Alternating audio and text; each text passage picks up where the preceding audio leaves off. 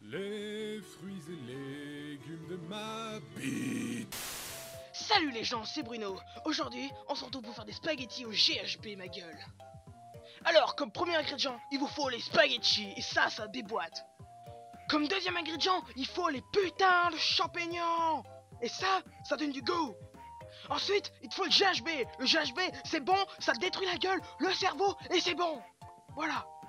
Après, pour faire la sauce bolognaise, il faut du steak, du steak de vache, de porc, de mouton, de poulet, de ta tante Jacqueline si tu veux aussi. Il faut qu'il soit pas trop cuit, mais bien cuit, pour que ce soit pas trop mou. Après ce petit listing bref et très tranquille des ingrédients, je vais vous laisser avec Sandrine qui va vous montrer la préparation.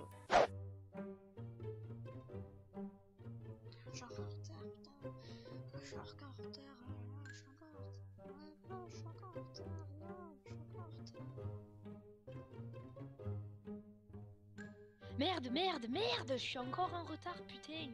Faut que je cours Comme Sandrine est grave vénère de s'être fait filmer à son insu, eh ben c'est moi qui vais faire la voix off pendant que elle va vous montrer ce qu'il faut faire. Donc après tu prends tes champignons, ta viande, ton GHB et tes spaghettis que tu vas mettre dans un saladier ou dans un verre vert comme nous parce que nous on est des tarés et on aime bien manger de la bouillie de pâtes. Tu fais tout ça et ensuite tu mets dans une assiette. Comme te demande encore plus et que t'es fou comme moi, eh ben tu vas aplatir tes pâtes avec une petite spatule pour que ça passe mieux dans ta bouche. Voilà, c'est bon, c'est le plat rêvé pour passer une bonne soirée avec ta petite copine. Sauf que toi, comme t'es pas con, eh ben tu vas prendre une petite assiette avec laquelle tu n'auras pas mis de GHB dedans. Tu vas manger, ta petite copine va en manger et tu vas passer une excellente soirée avec elle.